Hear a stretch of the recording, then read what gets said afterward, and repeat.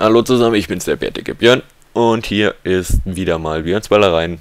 Ich weiß nicht, die wievielte Ausgabe das jetzt schon ist, sagen wir mal Ausgabe 18, grob geschätzt. Das könnte ungefähr hinkommen. Irgendwas um den Dreh wird schon sein. Ähm, ich spiele hier Abschuss bestätigt im Bodenangriff. Äh, Bodenangriff hört sich so scheiße an. Sagen wir Ground War. Klingt einfach cooler ähm, mit der CM901 schallgedämpft und einem Rotpunktvisier eine weitere, äh, ein weiteres Sturmgewehr, das mir sehr gut gefällt. Also unter den Sturmgewehren ist zwar das ACR-Gerät äh, mit Abstand natürlich, also nicht, sagen wir nicht mit Abstand, äh, ist einfach die klare Nummer 1, also bei mir zumindest, da gibt es vielleicht auch Unterschiede von anderen, aber ich denke, dass über alle Statistiken hinweg gesehen ist das einfach die beste Waffe unter die Sturmgewehren. Aber der Rest ist für mich ziemlich gleich auf. Also da kann ich mich immer schwer entscheiden, was ich denn jetzt mitnehme. Naja, heute hat es mal die CM901 geschafft. Ich, da hatte ich auch schon die M4A1 und die. Ne, ich hatte nur die M4A1 noch als Sturmgewehr, aber auch die G36 oder wie heißt das teilweise? Die AK. Die benutze ich halt auch sehr gerne. Auf jeden Fall sind die für mich alle auf einem sehr hohen Niveau. Alle sehr gut einsetzbar, vor allem mit Schalldämpfer und erweiterten Magazin. Sind Sturmgewehre wirklich stark, also da haut man dann schon mal schnell einen Triple Kill raus, weil man einfach Dauer feuern kann. Und der Schalldämpfer ist auf jeden Fall sehr nützlich, wie ich finde. Ähm, denn logischerweise, man wird nicht auf der Karte gesehen. Und bei Sturmgewehren ist jetzt auch der Damage Drop-Off also der Verlust an Schaden, den man über die Entfernung macht, jetzt nicht so extrem. Also da killt man immer noch recht schnell und präzise über weitere Entfernungen. Um sich das durch mal drauf zu schnallen auf dieses schicke Sturmgewehr. Ähm, hier habe ich jetzt meine Reaper und eigentlich wollte ich eine sehr interessante Taktik zeigen, die ich vor kurzem in einem anderen Video gesehen habe. Ähm, das, der hat es damals Osprey Gunner Loop genannt. Wahrscheinlich nennt das immer noch so, nicht nur damals.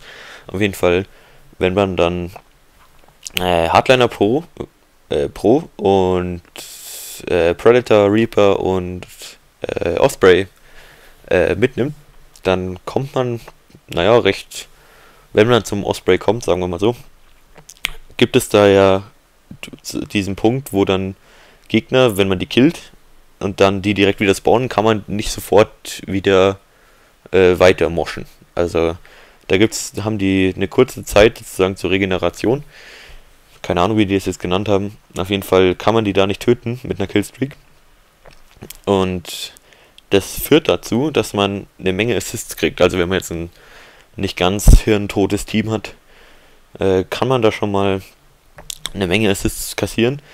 Ähm, und diese Assists zählen äh, schon zur nächsten Killstreak dazu. Das heißt, wenn man mit Hardliner Pro zwei Assists kriegt, zählt es ja als Kill. Und diese Kills zählen dann schon zum nächsten Predator. Also da ist es nicht, weil es aus dem Osprey ist, also aus der vorhergegangenen Killstreak, äh, dass die nicht zählen. Nein, das zählt dann dazu und das heißt, man kommt aus dem Osprey raus und hat unter Umständen schon die neue Predator sozusagen in der Hand oder schon zwei, drei Kills auf dem Weg zu dieser Predator. Das Problem ist hier einfach, ähm, dass ich nicht genug Zeit habe, um genug Assists zu sammeln. Also natürlich braucht man dafür auch ein Gegnerteam, die nicht sofort alles runterballern. Also es können doch ein paar mehr Parameter dazu als einfach nur gute CAD-Künstler. Also hier bin ich jetzt schon wieder raus aus dem Osprey. Ähm, man braucht ein kleines Team und nette Gegner, die sagen, okay, wir lassen uns mal über den Haufen rennen. Okay, was die meisten COD-Typen eigentlich tun. Ähm, aber wenn das dann doch, wenn man das doch dann mal schafft, dann ist es, wie ich finde, eine sehr lustige Taktik, die wirklich viel Spaß macht, weil man einfach den Gegner unter Dauerbeschuss äh, hält aus der Luft. Was erstens extrem frustrierend für den Gegner ist, was die zu Fehlern zwingt. Und zweitens natürlich äh, eine Menge, Menge Kills bringt. Ähm, was im Ergebnis dann zu einer Menge Spaß äh, bei, in dem Spiel führt. Und im Endeffekt ist ja das einfach das, was man erreichen will mit diesem Spiel. Also denke ich zumindest, dass wenn man äh, Videospiele spielt, geht das meistens darum, Spaß zu haben. Also ich hoffe zumindest, dass das der Grund ist, denn wer das nur, was weiß ich, aus welchem Grund auch immer spielt, also wer das nur als Sport oder so ansieht, ähm, eigentlich fällt mir kein Grund ein, warum man Videospiele, soll, Videospiele spielen sollte, äh, wenn nicht des Spaßes wegen. Also, aber falls irgendwer einen Grund hat, das nicht aus Spaßeshalber zu spielen, äh, ist das einfach nur bescheuert. Das ist, was Spiele, Videospiele tun sollen. Und wenn es dann eben mal keinen Spaß mehr macht, muss man eben andere Wege finden, um entweder in dem Spiel sich nicht frustrieren zu lassen und einfach weiterzumachen. Mit breiter Brust den Bart zeigen und sagen, hey, dann mache ich halt was anderes. Oder einfach sagen, gut, dann spielen wir halt heute mal nicht, ne? Dann, was machen wir? Ja, was weiß ich, gehen wir mal ein bisschen raus und rammen ein paar Äxte in Köpfe von meinen Nachbarn. Ähm, also natürlich nur, wenn ihr einen echt guten Grund dazu habt, sonst würde ich das nicht empfehlen. Das könnte zu schweren Problemen führen. Ähm, also, mir fällt eigentlich auch kein wirklich guter Grund ein dafür, aber falls ihr einen richtig guten Grund habt, was weiß ich, das ist ein Massenmörder, es ist Adolf Hitler, was schwierig sein sollte, oder irgendwie sowas in die Richtung, dann ist das auf jeden Fall eine Alternative zu COD. Aber es gibt natürlich auch noch andere Tätigkeiten außerhalb des Hauses, als dem Nachbarn extra in den Kopf zu rammen. Man kann ja auch Schwerter nehmen, die tun es genauso. Ähm, bringt auch einen ziemlich ähnlichen Effekt. Und wenn einem gerade mal nicht nach Leute umbringen ist, ähm, dann gibt es ja auch noch genug sportliche Aktivitäten. Was weiß ich, irgendwie Klagemauer, Free Climbing oder irgendwie sowas. Ist ja auch egal. Hauptsache, ihr findet einen Weg, euch nicht von diesem, nun ja, doch ziemlich oft schwer frustrierenden Spiel frustrieren zu lassen. Also schön entspannt bleiben. Dann lebt sich auch viel einfacher. Tut es wie der bärtige Björn.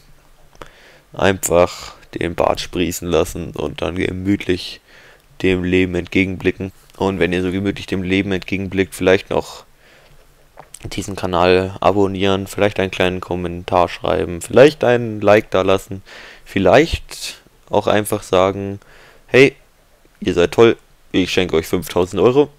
Könnt ihr gerne machen, wenn ihr wollt. Würde mich auf jeden Fall freuen.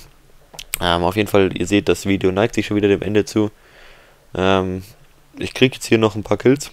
Äh, dann, was kommt jetzt hier noch? Ein Kill kommt, glaube ich, noch, der mich zu einer Reaper bringt.